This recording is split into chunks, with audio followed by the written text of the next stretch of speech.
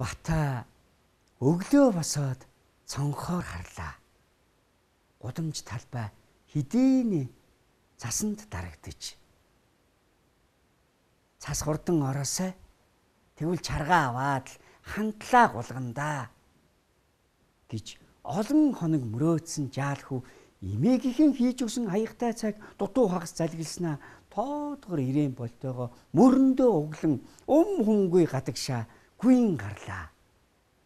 Зөөлөн хөвсгөр цагаан цас. Амьсгалах тоолонд амнаас уур савсах нь их сонин болохоор бата гүнзгий гих чинь хид амьсгаллаа. Удалгүй цогоо болдоо хоёр гарч ирлээ.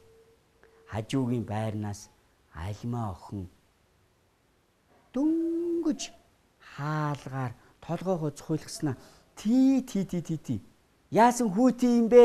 Би өнөөдөр та нартай тоглохгүй гэд хаалгаа хаахт нь хөвгүүд альмааг харж шоолон хөхрөлдлөө тэгж ингэсээр хав ойрын хүүхдүүд бүгд цуглахад цогоо халааснасаа нэг жижигхэн хар шайб гаргаж ирээд хүүхдүүдээ бүгдээрээ өнөөдөр хоккей тоглолцгоно цохиур модоо бэлтцгээ гэд хажууханд ургасан бут руу явж очиод нэг мөчрийг хамг байдгаараа татхад мөчр тас гээд хугарлаа. Цогоо хугарсан мөчрөө юу ч тойруулан харснаа. Найзуудаа энэ хараа яг таарах юм байна. Энэ үзүүрээс нь бариад нөгөө үзүүрээр нь цохиод л гэхэд хөвгүүд бүгд л цогоогийн адил мөчр олохоор ойр хавийнхаан мод руу гүйлцгэлээ. Батаач нүхтийн хойноос угс хийснэ. Цог туслаа. Өнгөрсөн хавар эдгээр моднуудыг энд уулнаас шилжүүлэн суулгасан юм. Их ажил болж байж шүү дээ. Бата зуны халуун өдөр саглагар ногоо мөчрийн дор найзуудтайгаа тоглож байснаа ч саналаа. Саглагар ногоо мөчрийн зүг зүгтээ салаалсан навчны судлууд улаас модны амин судснууд нь байсныг бата нүдэрээ харах шиг боллоо. Өчигдөрхөн бата имээтэйг хутга булаацалдж байгаад гараа эсгчгээд л ёолон уйлсан юм.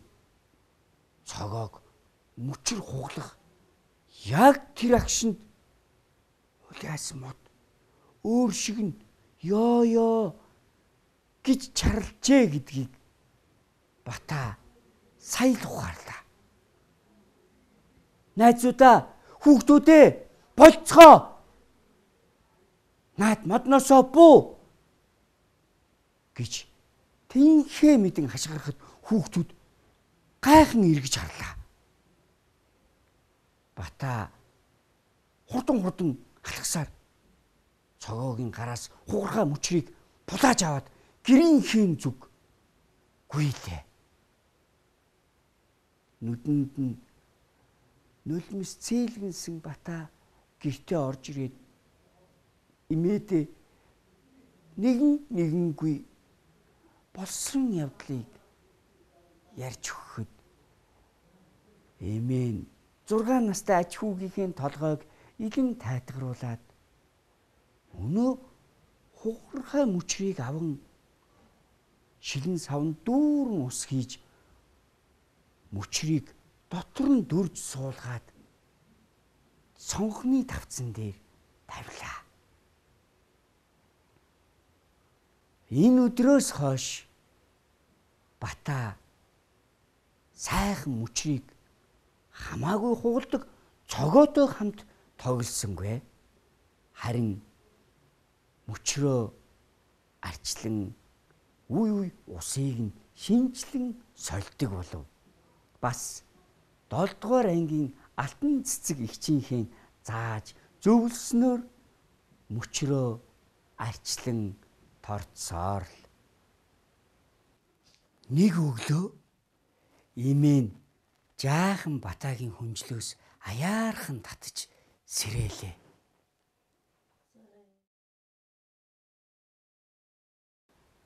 Хүү нойрмоглон нүдэн нухлан өндийхэд имэн инээмсэглэн цонх руу заалаа.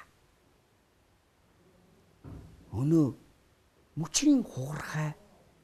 Үгүй тэр мөчрийн хугархаагаас нэг нялх бяцхан навч ургасан байхыг хараад хүү орноосоо суг үсэж усан тэр бяцхан ногоон навчийг удтал удаан шитэн зогслоо.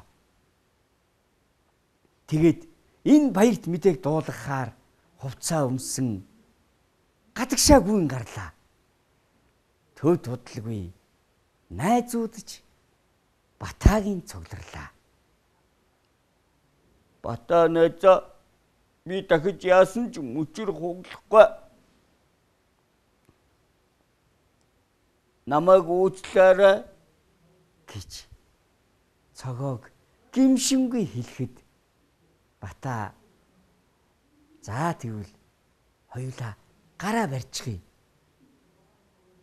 Өвөл нахаасан энэ мөчрөө хавар болохоор хар шороонд суулгаж арчиж тордон шүү гэхэд хүүхдүүд бүгдээрээ баярлан хөгжилдөн инээлтлээ.